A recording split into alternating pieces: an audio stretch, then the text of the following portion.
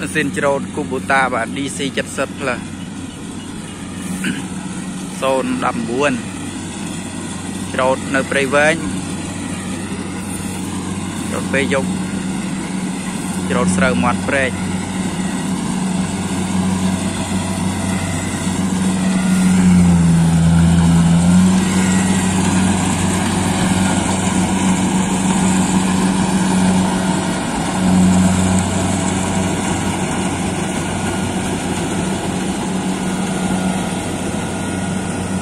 dịch lên vậy bạn.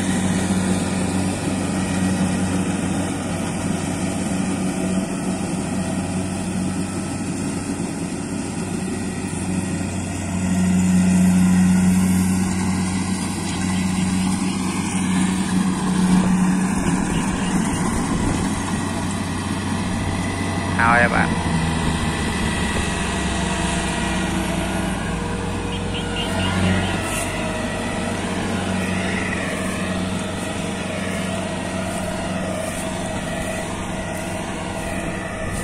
ទហើយបាទទៅស្រែខាងជើងនោះមួយទៀត